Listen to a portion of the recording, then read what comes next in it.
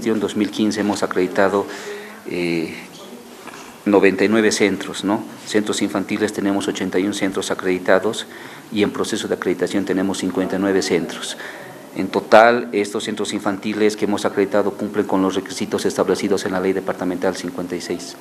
¿no? Hemos hecho un operativo conjuntamente eh, con la Defensoría la anterior semana, hemos identificado que estos centros infantiles, a pesar de tener el cierre temporal, siguen funcionando.